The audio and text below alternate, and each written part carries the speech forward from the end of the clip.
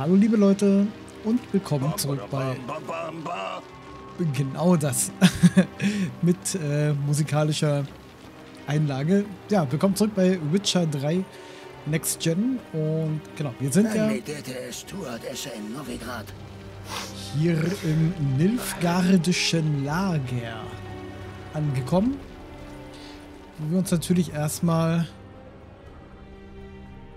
aber können wir oder können wir nicht? Wir müssen das mal schnell probieren. Kann sein, dass wir wieder laden müssen. Der Kaiser wird uns führen. Geradewegs nach Novigrad. Das ist zu viel. Ah, okay, okay. Ah, okay, okay. Da kommt die... Das ist mir noch nie aufgefallen. Okay, da kommt die Meldung tatsächlich. Okay. Ja, dann, äh... So, gute Alle Frau. Straßen führen nach Mahakam. Warte mal, wenn ich jetzt hier... Hier ist ja nicht eigentlich eine Wache. Hoho, Gerald der Rivier. Genau der. Na, guck mal, hier können wir ein bisschen klauen. Ganz schön schwer, hier Arbeit zu finden, Hexer. Ja, warte mal, Herr Zwerg. Ich, äh... Muss mal schnell die Gegend checken. Sind Der. Kaiser wird uns führen. Geradewegs nach Novigrad. Esse verslava eb kamdant? Mhm, genau. man muss ja mal gucken, wo man kann. Ne? Warte mal, hier sind auch keine Soldaten direkt. Sondern nur Adlige oder so. Okay, okay.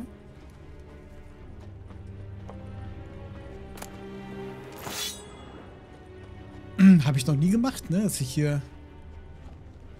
So, Okay, ja, ich wollte noch mal reingucken. Ich suche nämlich was.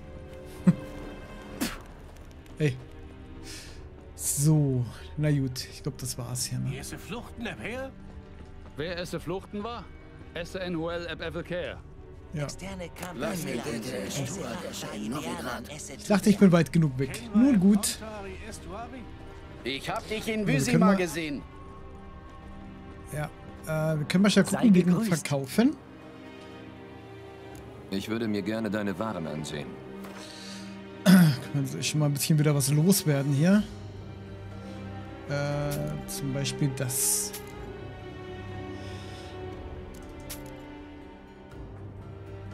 Oh ja. Da hört schon wieder auf. Ach Mensch. Huch. Achso, nein. Nein. Nein. Ah. So. Leb wohl. Julian, guck mal mal, schau, was die gute Frau dort hat. Für, achso, hier sind noch mehr Händler, warte mal. Der Ah, Kaiser wird uns führen. Willst du etwas kaufen oder dich nur umsehen? Zeig mal, was du anzubieten hast. Beides würde ich sagen. Oh, guck mal, der hat schon ein bisschen mehr am Start. Das leckt richtig hier im, im Inventar. Ähm, der hat aber nichts, was uns gefallen könnte, würde. Na gut, aber ich kann ein bisschen wieder was verkaufen. Bei dem Herren.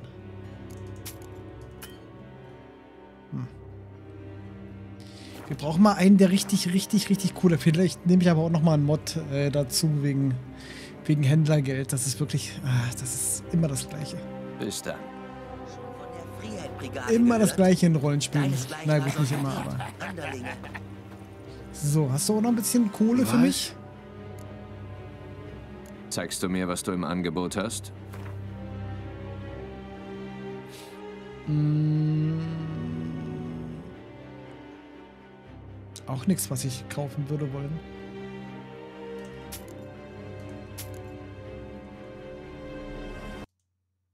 Huch. Was nun?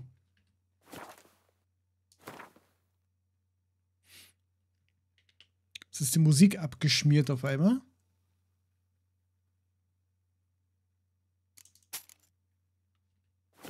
Na gut. Wir gehen mal zurück. Bis dann. Ich glaube, mein Lager ist so, oder mein Inventar ist so voll, ich glaube, irgendwas äh, Das Spiel möchte nicht mehr. So, gut, wir gehen aber gucken, was die gute Frau jetzt wirklich hat. Hoho, So. Gerald der Rivier. Bei dir habe ich ja schon verkauft, ne? Oder? Ganz schön schwer, hier Arbeit zu finden.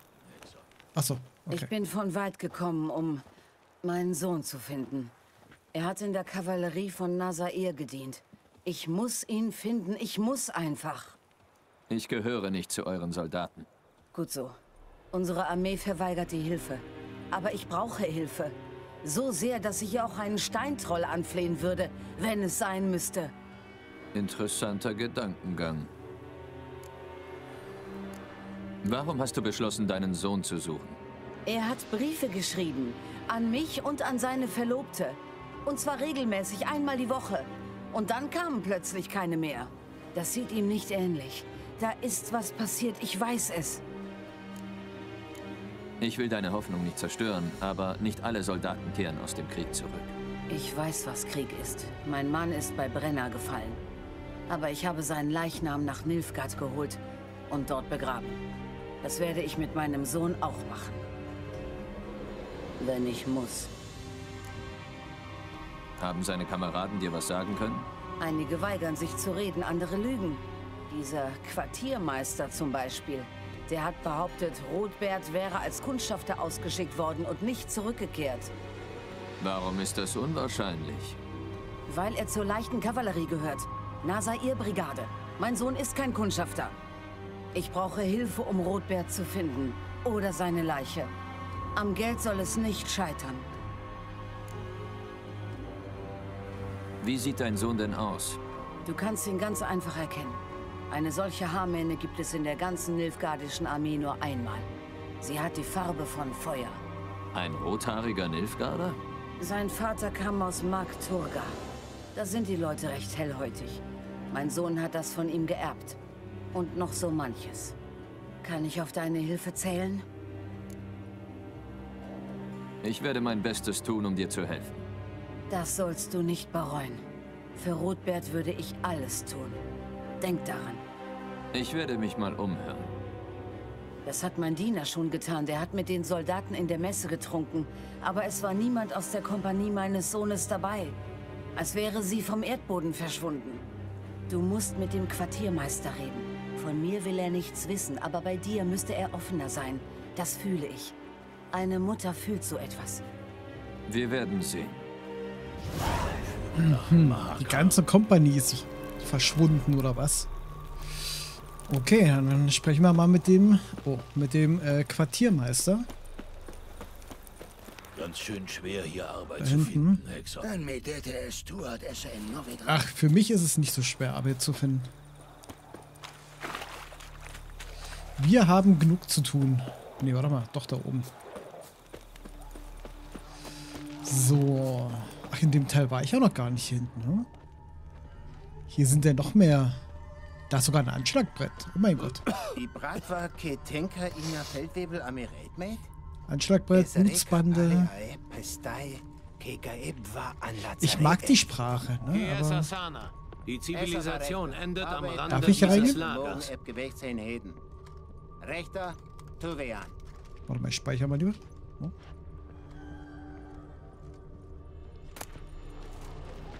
Oh, guck mal, hier haben wir Bücher. Aber schon Bücher, die wir alle gelesen haben. Verdammt. Schade. Wasserflasche. Porträt der älteren Völker. Haben wir auch schon.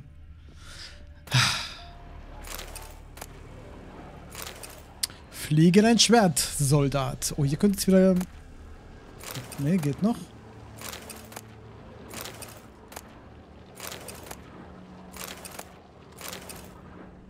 Ja, wahrscheinlich können die auf die Wasserflaschen verzichten, die hier rum drin rumliegen. Wahrscheinlich schon. Meine Geduld mit dir ist bald Ja, ja, ja, ja, ja. Alles gut, Freunde. Chillt mal. so, hier hinten sieht das doch aber keiner, oder?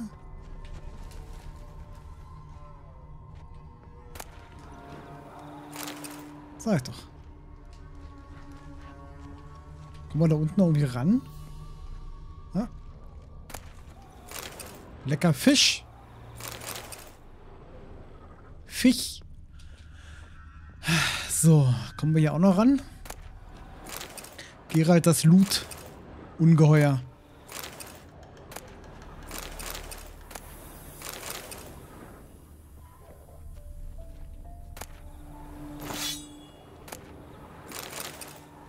Ja, hat gelohnt, hier nochmal ein bisschen zu stöbern. So, Tag der Herr. So, hier wird es wieder... Oh, oh Gott. Okay, fuck it. Da kam gar keine Meldung. Okay, ich muss... Ich muss äh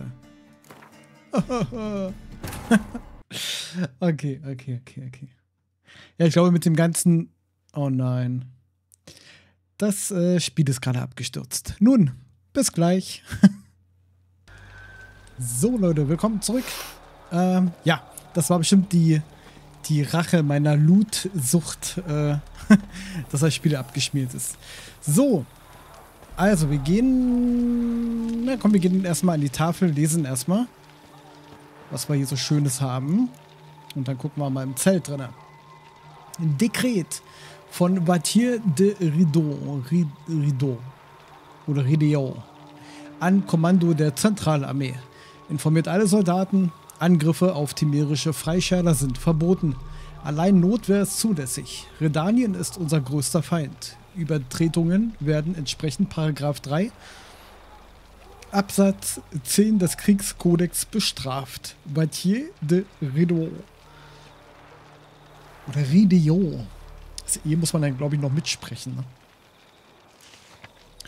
So, Bekanntmachung zu Sklaven, Soldaten. Ich erinnere euch daran, dass die Sklaven im Lager ausschließlich Offiziersbefehle ausführen dürfen.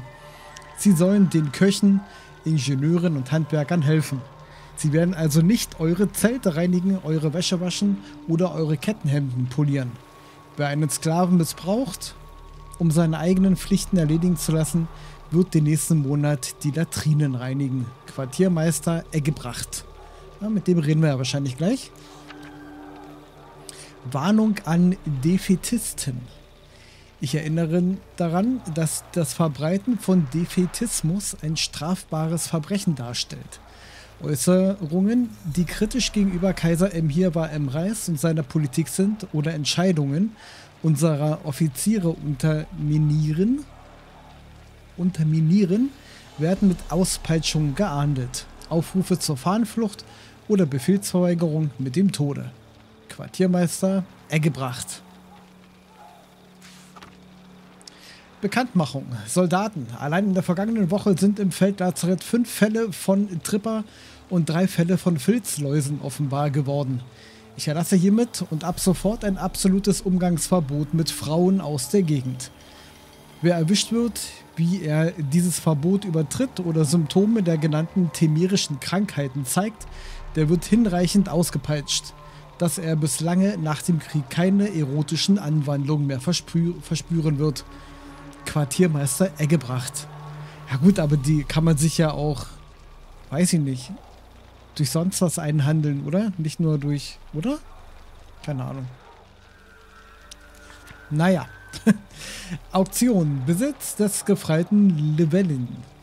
Nach Erhalt von 50 Peitschenhieben wegen Verlassens seines Postens ist der Untergefreite Lebelin verschieden. Seine privaten Besitztümer, ein Buch mit dem Titel Gemeinsprache für Anfänger, ein brauner Tabaksbeutel leer, ein Silbermedaillon mit dem Bildnis einer Frau und einer Haarlocke sowie ein Elfenbeinkamm werden versteigert. Quartiermeister Eggebracht.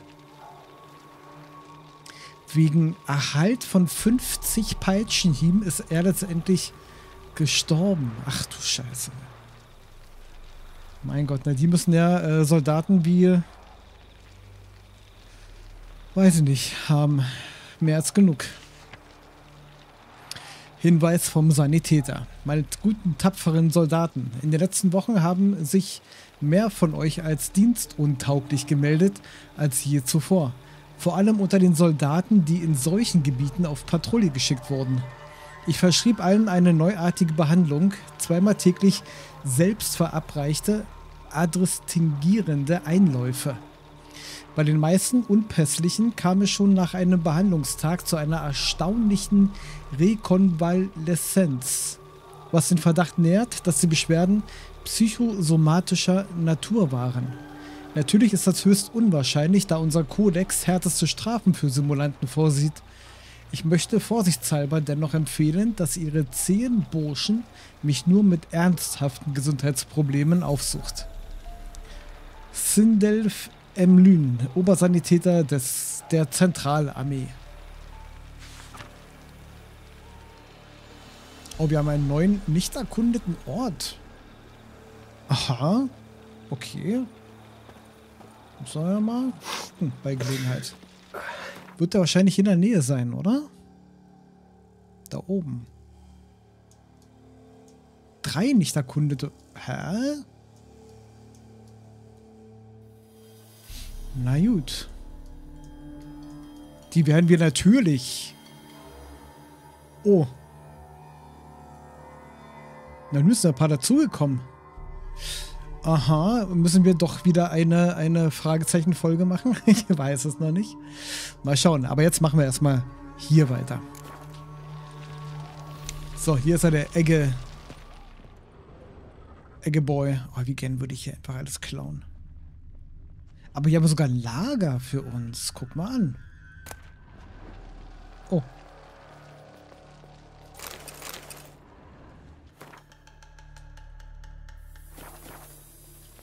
Warte mal. Können wir hier...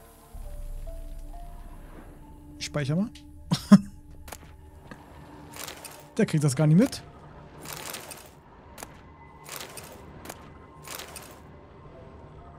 Guten Tag. Balladen und Hymnen. Haben wir das schon? Haben wir schon. Oh, wir haben schon so viele Bücher, ne? und wir haben sie alle gelesen. Möchte ich meinen.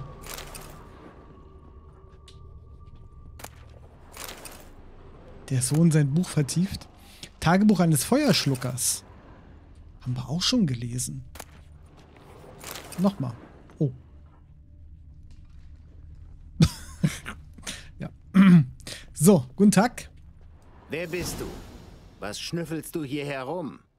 Ich suche Arbeit. Moment mal, zwei Schwerter, Augen wie eine Katze, du bist ein Hexer, stimmt's? Gerald von Riva. Den Namen habe ich noch nicht gehört, aber du findest hier Arbeit. Das steht fest. Das ist der gleiche Sprecher wie der allererste Nilfgaardische Kommandant, ne? Im, in Weißgarten. So, zeig mir, was du zu bieten hast. Ja, wir gucken erstmal, was er hat. Zeig mir deine Waren. Zeig mal her, was du hast. Jungchen. Nilfgaardian Armor. Das sind die, die neuen. Oh, es ruckelt wieder ein bisschen. Äh, die Nordling-Konflikte Band 1 und Band 2. Ach, guck mal an. Immerhin. Und der hat mal ein bisschen mehr Kohle am Start. Aber wir können bei dem. Doch, können wir. Ja. Nimm unseren Schrott.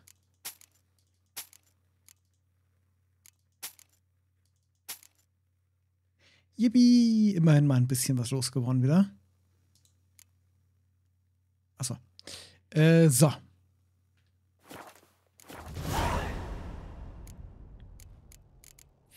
Lass uns. Ach ja, gewinnt auch. Na gut, machen wir das auch gleich.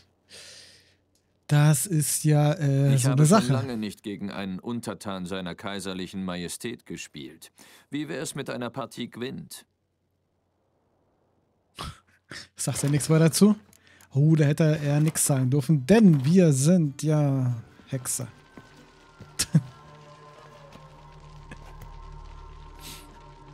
Sahir Eb Kelach.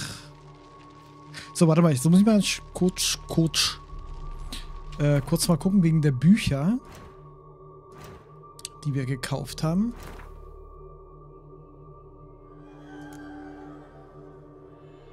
Hä? Hier sind sie nicht drin, ne?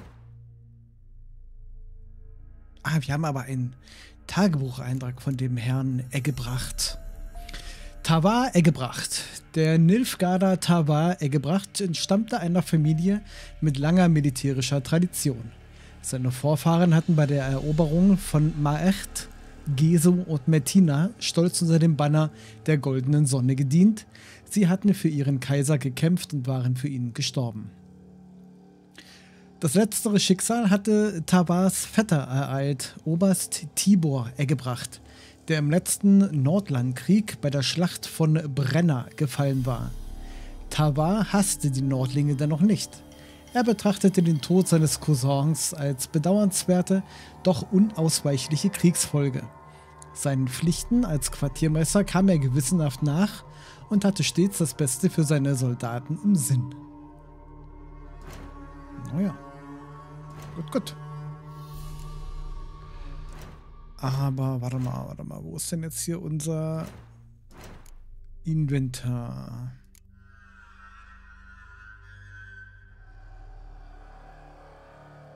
Die müssten doch eigentlich noch leuchten, die Bücher, oder? Oder waren das nur Schatzkarten? Hier war nochmal Band 1. Die Nordlinge-Konflikte, warte mal, Band 1. Gewicht, Typ. Warte mal, warte mal, warte mal. Hier ist Band. Ah ja. Lesen. Also ich meine, wir haben das noch nicht gelesen, oder? Ich sage jetzt einfach mal nein und deswegen lesen wir jetzt. also, die Nordlingen-Konflikte Band 1. Die Verantwortung für den Ausbruch des Ersten Krieges, Krieges 1263 bis 1264 liegt einzig und alleine bei den Spezialverbänden Temeriens. Abgefangene Schriftstücke weisen eindeutig darauf hin, dass Temerien die Annexion von Sintra plante was zu einer unverhältnismäßigen Verschiebung der Kräfte geführt hätte. Und dies konnte das Kaiserreich nicht zulassen. Das Kaiserreich musste seine Truppen nach Zintra bewegen und dort für Ordnung sorgen, um die zerstörerischen Handlungen der Temerier zu beenden und den Frieden zu wahren. Unglücklicherweise entschloss sich der Norden stur und kurzsichtig wie immer für einen bewaffneten Konflikt statt für einen angemessenen Kompromiss. Während dieses Konflikts verübten die nördlichen Truppen unverzeihliche Gräueltaten, die in der Schlacht von Manadal und anschließend im Massaker von Zintra gerecht wurden.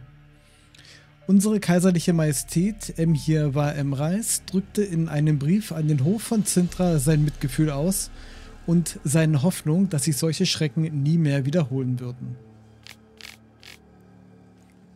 Nachdem Zintra erobert worden war, betrachteten die nilfgaardischen Truppen die Situation im Norden als stabilisiert. Doch der Norden kämpfte weiter, was zum Kampf in der Nähe von Sodden führte. Die Propaganda der Nordlinge beschreibt diesen Kampf als Wendepunkt des Krieges, aber in Wahrheit hatte er keinerlei politische Bedeutung. Kurz darauf wurde eine Waffenruhe unterzeichnet und Zintra wurde für immer ein Vasallenreich des Kaiserreichs Nilfgaard.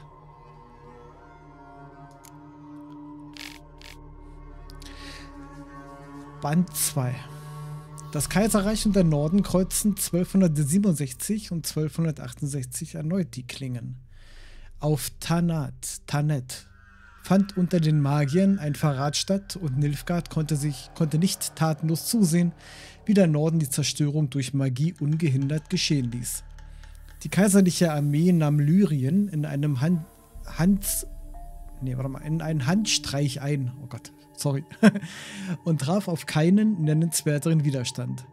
Nach kurzen Belagerungen marschierten unsere Truppen in Riva und in Wengeberg ein und wurden jedes Mal von jubelnden Menschen begrüßt, die nach Frieden und Zivilisation verlangten.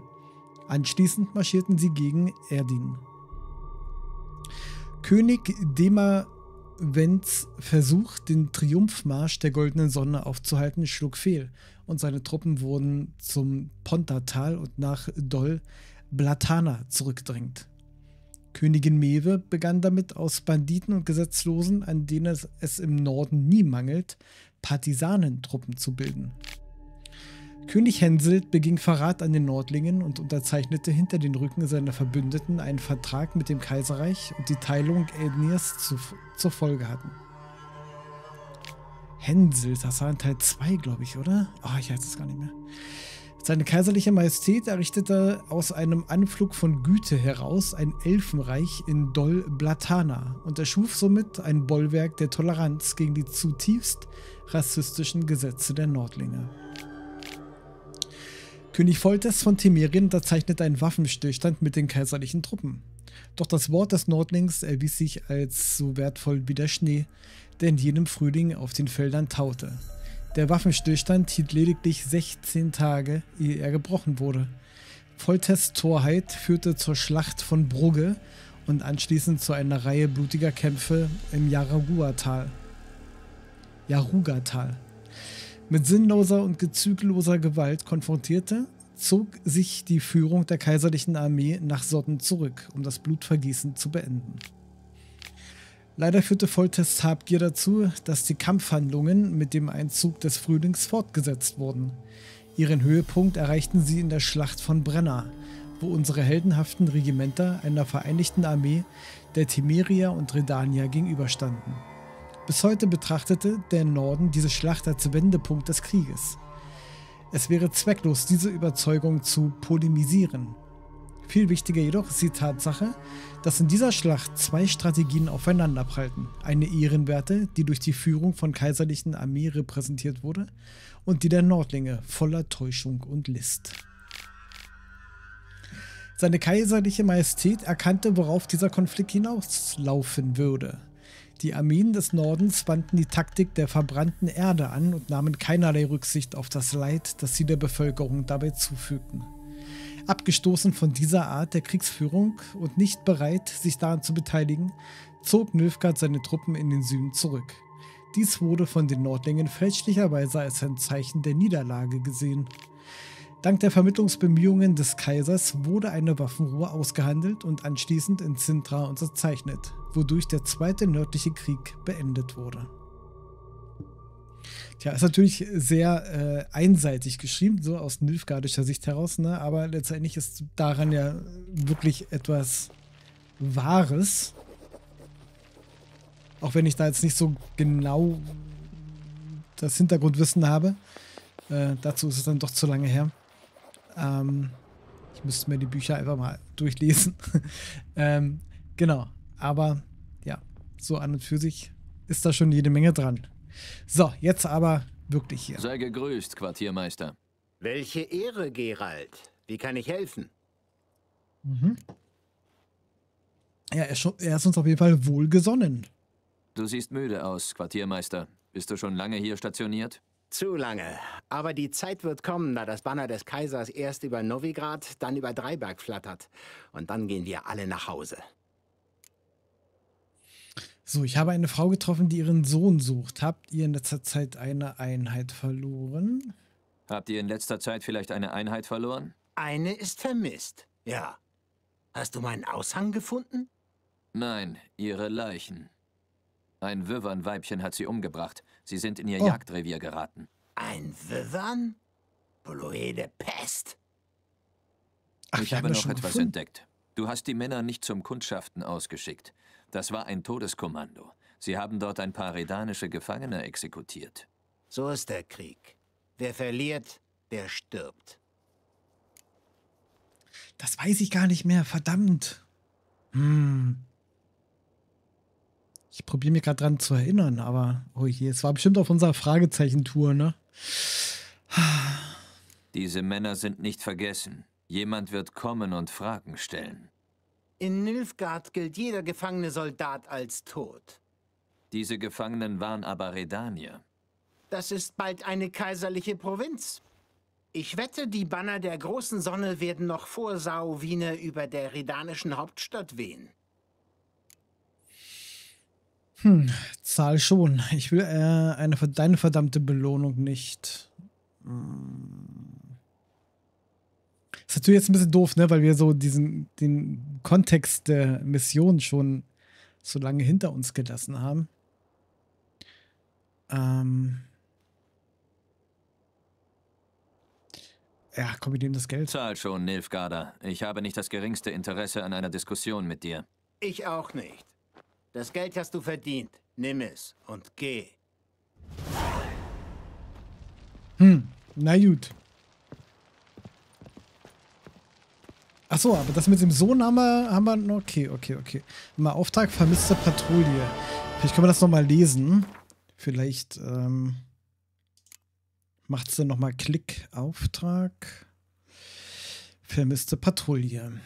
Also, wählen fehlte es zwar an vielem, aber eines gibt es dafür im Überfluss: Monster.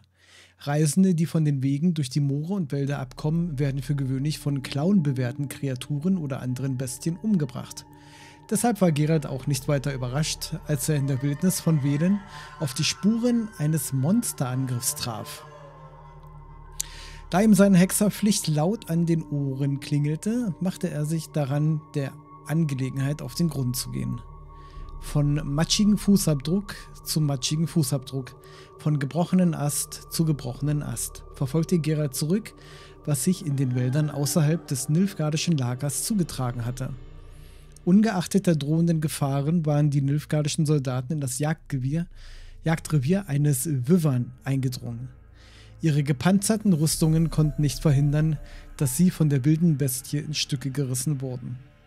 Weitere Untersuchungen dieser tragischen Geschichte ergaben ein noch viel traurigeres Ende.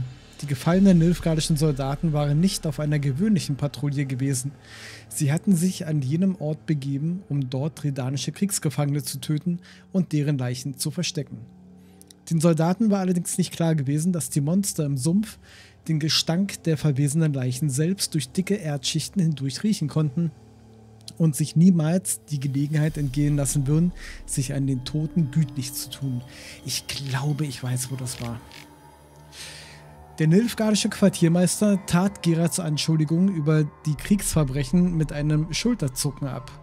Dex war empört über diese Antwort, doch seine Entrüstung würde den Verlauf des Konflikts nicht entscheidend ändern, wohingegen eine Börse voll Gold seine materiellen Umstände maßgeblich beeinflussen würde. Deshalb nahm er seine Bezahlung und verließ unverzüglich das Lager. Das war doch diese Höhle, wo wir, wo wir vor, äh, in der vorletzten Folge oder letzten Folge so nochmal vorbeigelaufen sind. Wo wir diese Spuren gefunden haben und diese eine Höhle war. Ich glaube, das war das. Wo wir aber keine Quest dazu hatten. Ja, ja, ja, ja, ja. So, okay, also wir machen nochmal. Sei gegrüßt, Quartiermeister.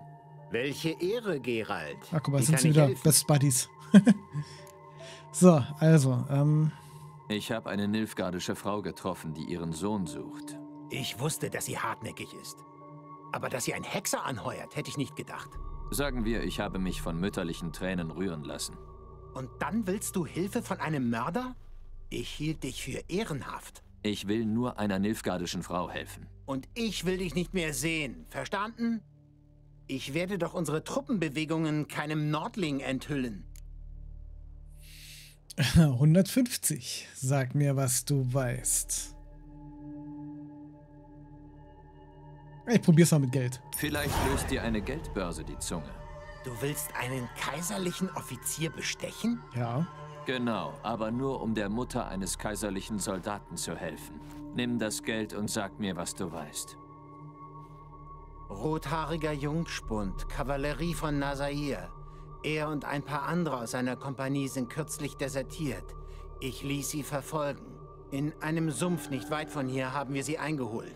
Andere konnten fliehen. Was ist mit denen passiert, die ihr gekriegt habt? Die haben wir nach Kriegsrecht aufgehängt, aber ich glaube, der Rotschopf war nicht dabei. Von dir als nilfgaardischem Offizier hätte ich mehr Gewissenhaftigkeit erwartet. Wenn ich berichtet hätte, dass einige geflohen sind, hätte ich sie verfolgen müssen. Dafür habe ich weder die Zeit noch die Leute, also schrieb ich alle wären tot. Es ist ohnehin unwahrscheinlich, dass sie im Sumpf überlebt haben. Mal sehen, ob ich sie finde. Also desertiert. Blutsbande. In der Nähe des Nilfgaardischen Lagers traf Geralt auf eine Adlige aus dem fernen Nasair. Sie war an die Front gereist, um nach ihrem Sohn, einem Soldaten, zu suchen. Die Frau machte sich Sorgen, denn ihr Sohn hatte ihr häufig geschrieben und auf einmal waren seine Briefe ausgeblieben. Im Lager wusste niemand, was mit ihm geschehen war, doch die Frau kaufte den anderen Soldaten ihr Unwissen nicht ab. Sie bot Gerald eine Belohnung an, wenn er die Wahrheit ans Licht brächte. Gut, wir haben einen Hinweis. Oder steht's ja schon, finde äh, Rodeberts Leichnam. Das ist ja schon vorweggenommen, dass er tot ist. Ach Mensch. Ja, wahrscheinlich ist er, konnte er den den Nilfgaardern ähm, ähm, entkommen, aber nicht dem Sumpf. Schon auch wieder von irgendeinem Monster. Ich hab dich in Wysima gesehen. Das ist doch schön. Wollt bestimmt ein Autogramm haben. So, wie weit haben wir es denn? 200? Na gut, das ist ja nicht weit. Wir laufen ja gerne durch die... Ach so, nee. Steht denn ja nicht dran? Das haben wir schon gelesen gehabt, ne? Ja, doch, doch, doch.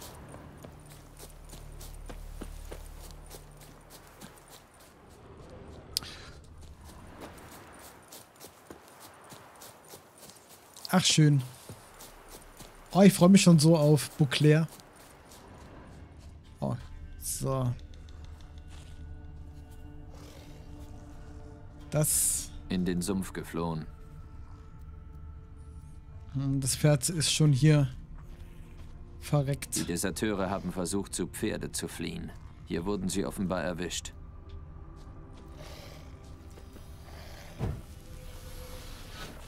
Wahrscheinlich von Gulen, oder?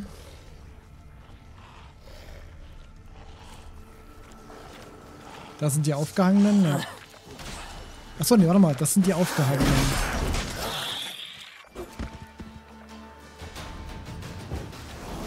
Dann müssen ja die anderen noch weiter weg sein. Ah. Warte mal, Gerald.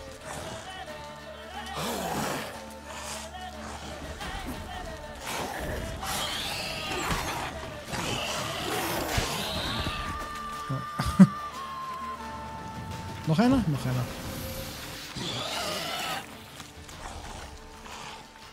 Gerald, warum steckst du denn dein Schwert immer weg?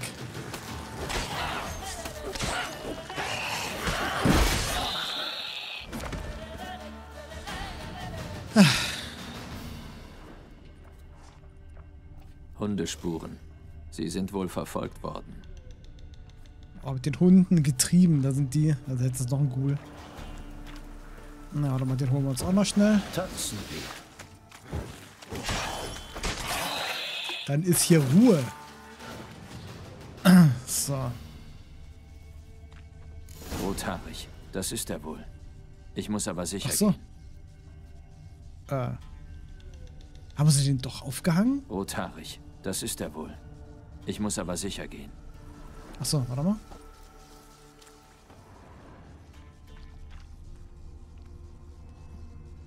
Hundespuren. Sie sind wohl verfolgt worden. Untersuche es gibt äh, nach Artefakt. Achso, warte mal, hier liegt noch was. Okay. Ein Brief an seine Mutter. Den muss ich ihr geben. Aber mehr kann ich nicht tun. Unverschickter Brief. Liebe Mutter, dies ist vielleicht mein letzter Brief. Mein Herz ist schwer, während ich dies schreibe, denn ich habe große Schande über die Familie gebracht. Ich habe meine Waffenbrüder im Stich gelassen. In der Stunde der Wahrheit versagte mein Mund. Ich bitte nicht um Vergebung, da ich sie nicht verdiene. Ich bitte nur darum, dass du für mich betest. Mögest du in Gesundheit leben. H. Ach Mensch.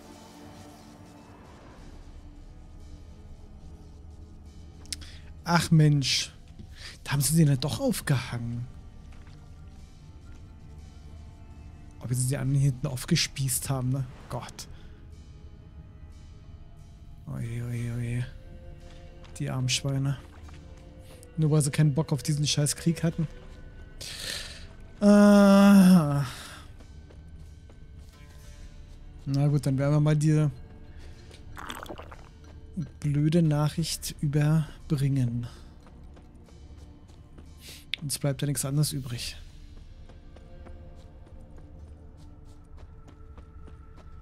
Ach, so ein Haus der Erholung wäre schon nicht schlecht, oder?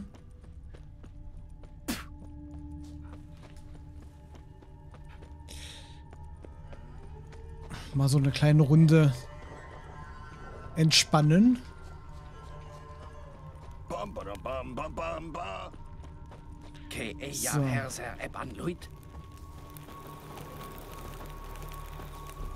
Ich habe schlechte Nachricht. Mein Sohn, hast du was erfahren? Hab ich. Ich will die Wahrheit wissen. Ob sie süß oder schmerzhaft ist. Ich will sie wissen. Dein Sohn ist tot. Wie ist das geschehen? Er ist desertiert und wurde erwischt. Er ist in der Schlacht gefallen. Hm. Komm, ich, ich bin... Aha, ich bin ehrlich. Er ist desertiert. Man hat ihn geschnappt und aufgehängt. Lüge. Er hing da nicht alleine. Die Mitteilung am Baum war eindeutig. Das glaube ich dir nicht. Mein Sohn war kein Feigling. Glaub, was du willst. Ich habe einen Brief bei ihm gefunden. Der ist an dich adressiert.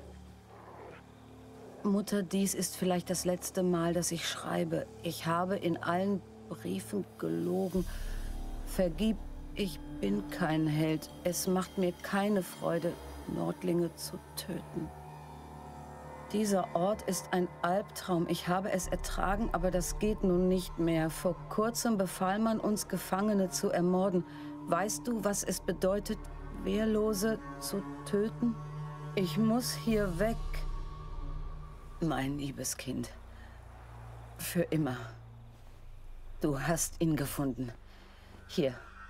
Dein Lohn. Aber gut, dass wir die gesagt haben. Blutsbande. Da stand da mehr auf dem Brief, als wir gelesen haben.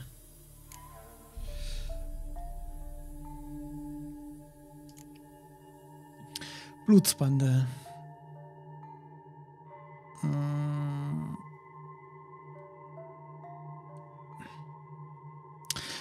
Es stellte sich heraus, dass der Sohn der Adligen mit einigen anderen unzufriedenen Soldaten desertiert war. Ihnen war sofort ein Suchtrupp hinterhergeschickt worden. Einige der Deserteure waren gefangen genommen und getötet worden, während anderen die Flucht gelungen war. Traurigerweise befand sich der Sohn der Frau unter den Gehängten. Als sie dies erfuhr, wurde sie von tiefer Trauer übermannt. Der Brief, den Gerald bei der Leiche ihres Sohnes fand, beschrieb die Strecken des Krieges und schilderte, wie schwer es war, die Handlungen der Soldaten zu beurteilen, die daran teilnahmen. Hoho, Gerald der Der Rivier. So, wir haben aber, ich glaube, wir haben hier unten jetzt schon alles erledigt, ne? Haus der Erholung. Wir können noch mal gucken, ob wir jetzt da Ich hab reinkommen. dich in Vysima gesehen. Oh Gott, überall Gehängte. Kann man gar nicht so die erkennen, ob das nur Nilfgaarder sind, also Deserteure oder...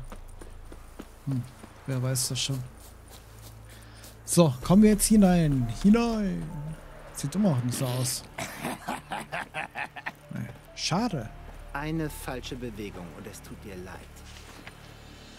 Ach so, Offiziersclub. Exklusiv für aktive Soldaten der höheren Ränge. Volle Regiment... Ah, volle Regimentsuniform. Warte mal. Warte mal. Warte, warte mal.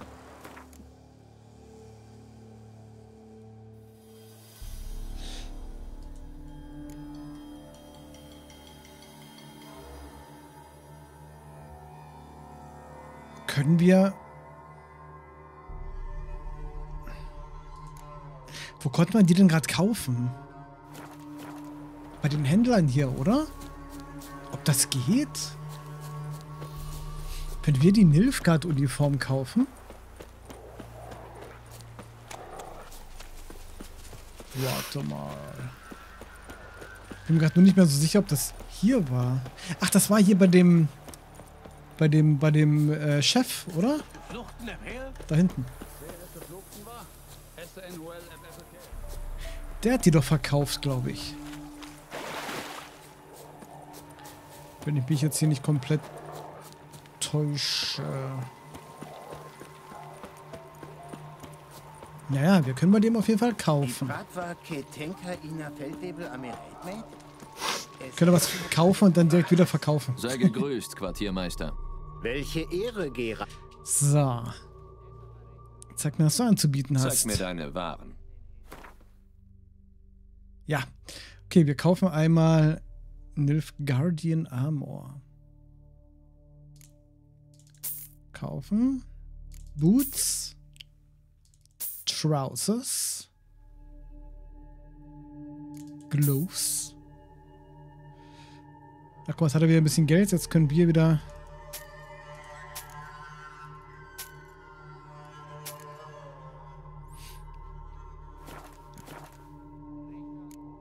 Bis dann. Oh, Gerald erstmal Nilfgaarder. Nilfgaardian Uniform. okay, warte mal. Das äh, will ich jetzt mal... Das habe ich ja noch nie gesehen.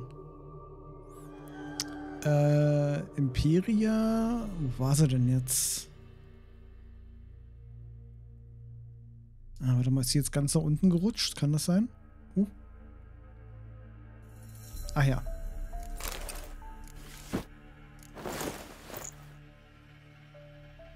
Aber kein. Ah, warte mal, doch, einen Helm haben die doch auch gehabt, ne? Den habe ich aber gar nicht gesehen. Oh, Gerald, das ist halt voll der fetten Panzerung. Sei gegrüßt, Quartiermeister. Warte mal. Welche Ehre geht. Ich glaube, die Helme waren nämlich grau, ne? Also. Zeig mir deine Waren. Äh, hier, genau. Ja, wenn dann komplett. Bis dann.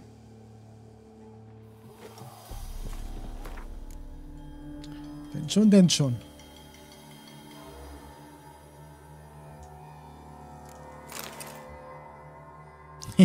cool. Wo ist denn der Helm eigentlich in welchem Slot? Ach, hier. Bei Accessoires.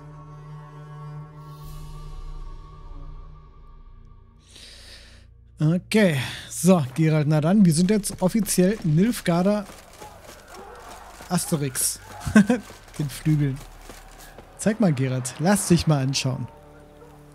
Geht sieht irgendwie cool aus, aber es macht uns ja mal richtig. Das macht uns ja voll fett. Hä? Nein, wir werden natürlich unsere zünftige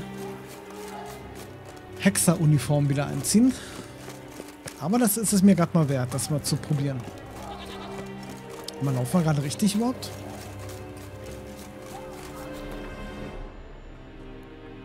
Haus der Erholung, ja.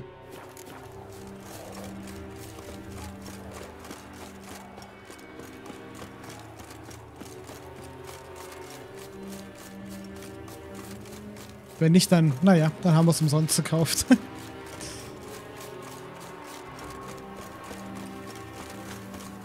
Edvenias Ayek. Hm? Das geht nicht. Case Wax. Mit hier rein. Schade. Ach Mensch. Zwei Wochen in der Zelle und die Laute zertrümmert. Warte mal, kommt man hier vielleicht irgendwo? Mumpitz. Ist vielleicht irgendwo ein kleines Löchlein? Wo wir uns...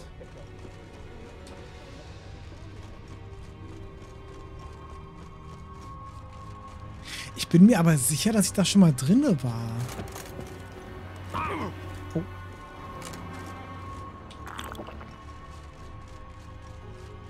Glaube ich. Weißt du mal schon? Nee. Hm. Vielleicht später oder was? Keine Ahnung. Na gut. Okay, dann halt keine Nilfgaarder Rüstung. Mir so eine Mühe gegeben. Ähm. Oh. Ah, so ist er gleich wieder viel bequemer. Den komischen Helm weg. Wir könnten da mal bei Gelegenheit ähm, Wir könnten mal, ich habe glaube ich den Mod drin mit diesen Hexer-Kapuzen. Ich glaube, äh, wir können uns mal so eine Kapuze nächstes Mal holen. Oder habe ich nicht sogar noch eine? Warte mal. Hat die oder habe ich die alle verkauft? Da ist die Maske. Nee, ich habe ich alle verkauft. Verdammt. Na gut. Ja, wie dem auch sei, liebe Leute, ich würde sagen, das passt ja gerade ganz gut. Ist jetzt nicht so viel passiert in dieser Folge. Aber ähm, ja, trotzdem wieder ein Stückchen auf der Liste, was wir erledigt haben. Das wäre ein Riesenlager, ey. Ähm, genau, so beim nächsten Mal werden wir mal, denke ich mal, hier die Fragezeichen abklappern. Warte mal, ich muss mal ganz kurz gucken. Hier haben wir zwei Stück und da oben und da hinten. Okay, ich denke mal, wir werden die nächste Folge, je nachdem, wie lange das dauert mit den Fragezeichen, ähm, werden wir das dann als Fragezeichenfolge machen oder eben auch nicht. Mal schauen. Aber ich denke mal, es wird vorrangig eine Fragezeichenfolge. Ja. Äh, aber ich glaube, dann war es das wirklich hier größtenteils äh, in Wählen mit den Fragezeichen. Dann haben wir, glaube ich, wirklich alles soweit abgeklappert. Kann sein, dass hier oben noch ein bisschen was kommt, also hier bei den Anschlagbrettern. Aber zumindest für den südlichen Teil sollten wir es denn haben. Yes, yes, yes. Okay, gut. Also, bis hierhin, liebe Leute. Vielen Dank fürs Dabeisein und bis zum nächsten Mal. Tschüss.